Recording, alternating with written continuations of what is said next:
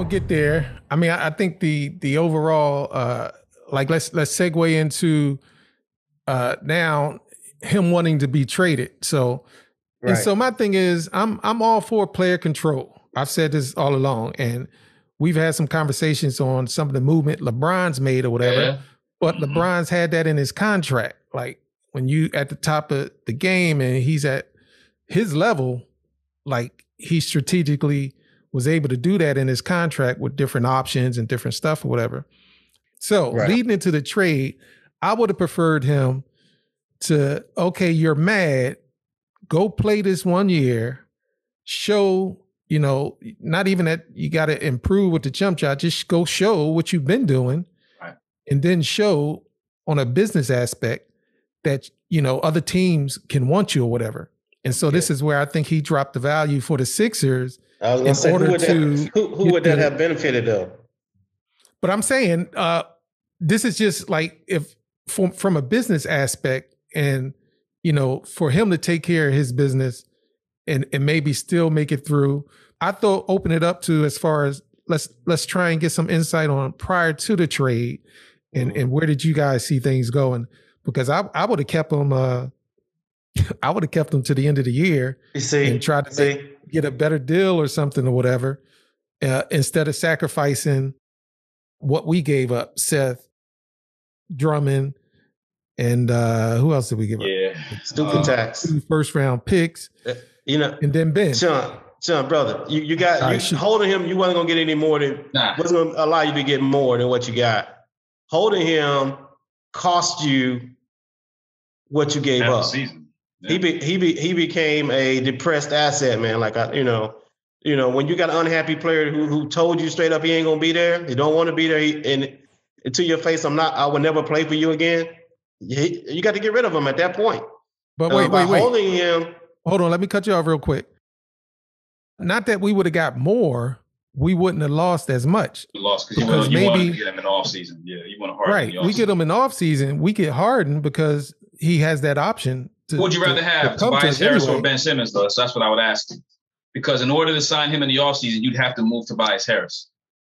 All right, yeah, and I didn't mean to cut you off, G. To finish finish yeah. your thought, I'm sorry. No, no, no, no, no. That, that's a good point. But I'm just I'm just saying, you know, you you can't just pick up from where you are. You got to look at where you came from to how you got here. You know, they could have had Harden last year straight up for Ben Simmons if they wanted him. They didn't want to give him up because they feel like you know he's a younger player. He has a higher you know, he, he has a higher ceiling they thought in their mind, so they didn't want to give him up. Right. So in my in my in my opinion, that was their mistake, not realizing he's not an asset to you anymore. Now he's a depressed asset because he's not going to play for you. Okay, he could he could he could go become Michael Jordan for somebody else, but he will never be Michael Jordan for you. So if I can if I can just interject and just add a little a little more to that. So everything from what I understand, and including what Ben said as well, and even even uh, listen to the the jump. Uh, was it, Daryl Morey? Uh, I guess his title is not the GM. Elton Brand's the GM. I guess he's the president of basketball ops, something like that, whatever his title is. But uh, yeah, the, the whole thing was is that this is part of Ben's problem because uh, last year they were they were willing to give Ben up for Harden. They wanted they wanted to. I didn't want him to because I really, when I was younger and I saw the potential and I thought he was going to evolve and do what he's going to do. But um, I didn't want to do it, but they were willing to do it. They had they did have his name in the trade, but Houston was unwilling to trade James Harden here because Daryl Morey was no longer at Houston. So they didn't want to help Daryl Morey out. Because he so went they, to Philly. yeah, took. exactly. So he wanted, yeah. so James Harden is, is being truthful when he says he initially wanted Philly. It was Houston that held that trade up. Philly was right. willing to put Ben Simmons in there, but Houston wasn't willing to send Harden over here to uh to Philly and that's one thing that set Ben off. That that's because they were they were talking about that last year during the season. How right. Ben was frustrated that he was involved in the in, in the trade. And um, but yeah, so um, and that kind of just set everything else off. And then he used that as the precursor to when he didn't shoot in the playoffs in the fourth quarter against mm-hmm. the Hawks. He right. used that combined with that, the everything he got from that, the Joel Embiid's comments and Doc Rivers' comments. I don't know if he can be the point guard here. I don't know that yet. Right. You know, he used yeah. all of that and threw in right. the fact that he was going to be traded and just not really understanding the business of basketball. And as a as a person, I get it. Like you don't want to be traded. You don't want to be thought about like, oh, they want to trade me? Like as a yeah. human, but that's the business. That's the nature yeah. of the beast that comes with the territory. Your name's gonna be out there. Um, right. So, but but but, but but they but but the they've shown that it affects even veteran players, right? Even yeah. when even when LA was at, the, at when it gets the trade deadline, that their veterans they they started looking mm-hmm. even worse. Looking be more shaky. Mm-hmm. So it, it doesn't, but they, you know, they they're able to to deal with it because they know it's it's it's the nature of the business. I mean, yeah. But you got a young player, you exactly. know, he, he's trying to be all in. He's bringing, you know, I think he was he was giving what he get what he had to the yeah. team. He oh, wasn't yeah, short, he, he, wasn't shortcutting was. the team, but then right. yet and still. Right. They're saying I'm not good enough, you know. He's hearing that, and then he's you, you brought up the trade. Okay, they're willing to trade me.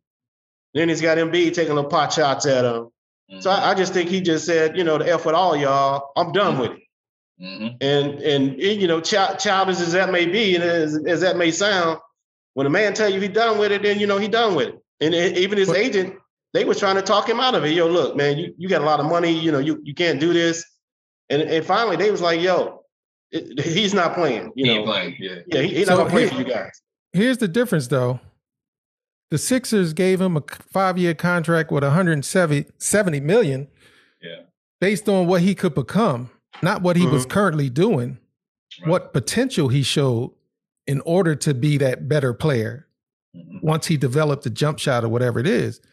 And so if they if they value you at that uh, amount and they pay you that, then the expectation is is a little higher.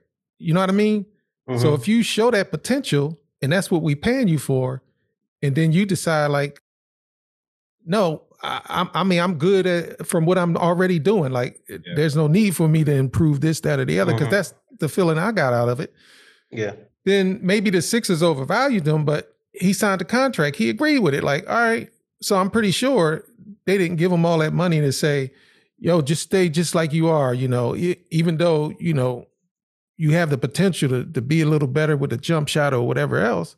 Mm-hmm. And so, uh, I mean, that's that's how I seen it. Like, yeah, the Sixers overvalued him. I think he gave credit to that value, and and once he decided for whatever reason, like it's I'm no longer playing for you. Like I said, instead of playing that year out to mm-hmm. allow his value to maintain and maybe be able to uh, be a better uh, a value towards the end of the season or whatever, mm-hmm. he devalued himself and in turn messed up the ability for the Sixers to trade him right. or to do anything right. And that's why, again, I, I would have said I, I would have sat that, on him. Now that, that that that was intentional though. He he devalued himself to punish them. Yeah, yeah. You know. Okay. It, true. It, like I say, business sense goes out the window, man. It, it became personal. It, and, so and that's, at, at this point, yep. is this is a personal thing between him and the organization, him and him and Embiid. Look, you know, you're gonna get rid of me right now. I'm not gonna play. You know, and if you're gonna try to hold me, I'm gonna punish you by just not even playing, not you know, not working on my game.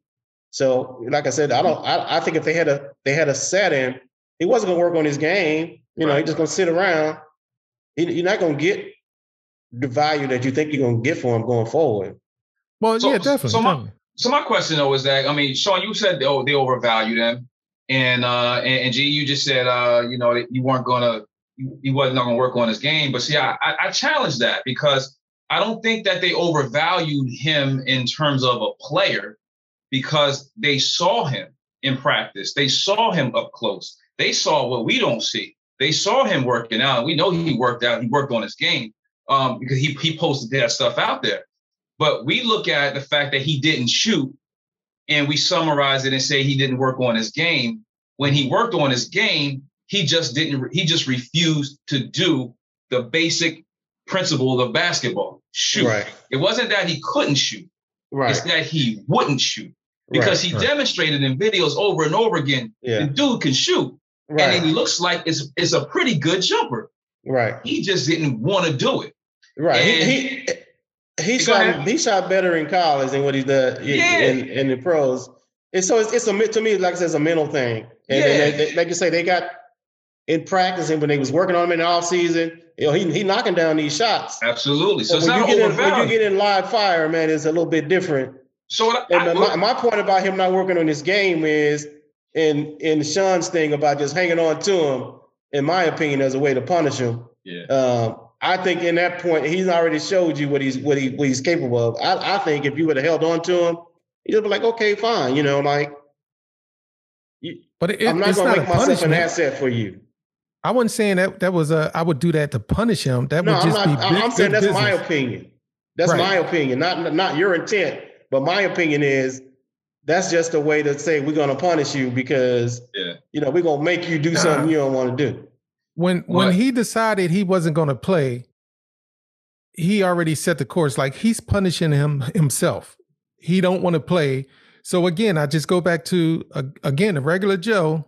Yeah. Either being in the military or whatever. Like yeah. when you got wanna, when you go to yeah, work, I want to address especially that. if you sign a contract. I, I, I, I want I want I want to address this because you got to work. I'm glad you said that. I want to address this because uh, you know, you hear a lot of times when people, you know, compare themselves to NBA players. Right. Say, well, I got a regular job. I go to work, man. I'm with you, brother. Uh, so I want to track that on two tracks, man. The first track is, you know, when when we go into the military, right? When we sign our contract, our contract comes with sacrifices. Our contract comes with uh, giving up rights yeah. You don't have the right free speech. Mm-hmm. Okay. You you know, you can't you can't go out and you think you're gonna go out and kneel somewhere. You don't have the right to not show up to work. We mm-hmm. we signed to give up those rights. Mm-hmm. So I don't think you can compare that. I mean, I know I it's a people like doing that, but I don't think you can right. do it because so it's, it's a sacrifice thing for we, we, we give away many of our rights, you know. So let me serve. just respond. The purpose of a contract is to have an understanding on what's expected. So I understand that. Again, the military is tougher, but it's nothing specifically in a contract to say don't do. Like I, there are more specific than an NBA uh, player's contract, I would assume. But at the end of the day, a contract is a contract, and it serves okay. the purpose that you have an understanding of what's required. So when he signed a contract for five years, he's basically saying he's he's going to play. So when right. you become disgruntled and you don't want to abide by the contract any longer, then mm-hmm. that's just like any other contract, regardless okay, of whether it's military okay, or anything else. so that's my exa- point with that. Yeah, use this as an example though. Use, I don't think the contracts are the same. Right. Kyrie. Nah. Kyrie signed a contract, right? Right. He decided he wanted to step away after the the riots right. or whatever, whatnot, right? What happened to him? Okay, transpose that to me and you. We we see that we want to step away for a couple weeks. What happened to us?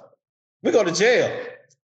There's different consequences, man. I mean, no, you can't compare. And, and, yeah, but also so too, we, but, but also, yeah, and I no. agree. You can't compare it here. If I can jump in on that, because like even even with the contract, you got to remember too with, with these players are dealing with, particularly in Ben's case right here, and a lot of these players have the same mindset.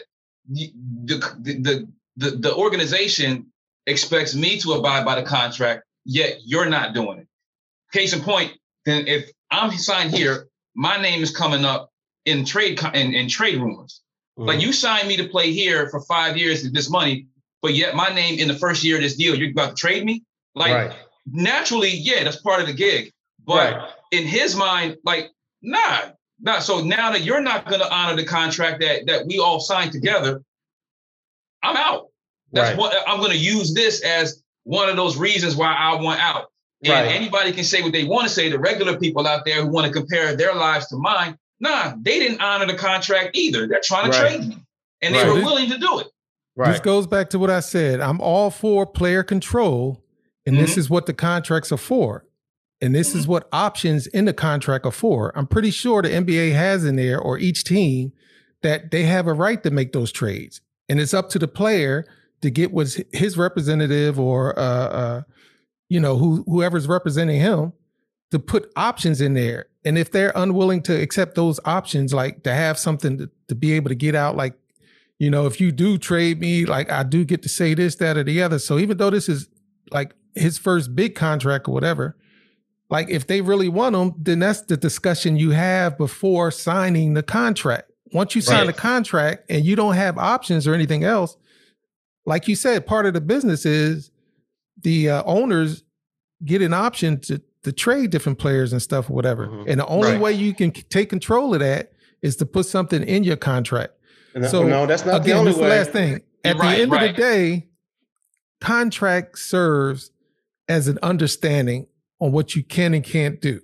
Right. And when you decide to go against that, like uh, Chris was saying, uh, owners go against the contract when they trade them. No, that's in the contract that they're mm-hmm. allowed to do that. that. Otherwise, uh-uh. they just don't do it. It's it's it's right. got to be in the contract well, well, in, order for them to do that freely. Here's the thing, like you say, it's a part of the business, right? Right? Signing contracts. Also, another thing that's part of business, Sean, is players being holding their holding their services, man. And so to to that's Wait, I mean that's that part of you don't like it, they can withhold their services. Mm-hmm. You you don't like that part of it, but that's part of the business. Um, yeah. People don't realize, you know, uh, Ben is not the first person that held out and forced a trade. And that's what I was uh, going to say. Those those think, are the loopholes. Think, I mean, yes. The Lakers, man, Kobe Bryant was supposed to be traded from the Lakers until they went out and got Gasol. I mean, he he was out. I mean, if you got a, a star player that don't want to be there, you got to move him, man. They do. James Harden, he forced his way out of Houston. He was under contract. Mm-hmm. You know, their their way of getting around what you're saying is the only way to is to put the language in the contract. Right. The other side of it is there's other ways to get out of it. You know, right? And, and that's all. And that's all. And, and management knows that that is part of the business. They and they know, okay, if we ain't keeping this guy happy, he want to get out. We got to get rid of him before he becomes a, a cancer to our organization. You know, so and you know they a, know and you know yeah, they know it because they know. every sport's doing it, and they, and they, and they, they eventually know. give the player what they want anyway. Right. So they know that's that's the unwritten loophole in right. the contract. So and that's right. that's it's the thing. They, they, know that's, that's all part of it. Yeah, no, I agree.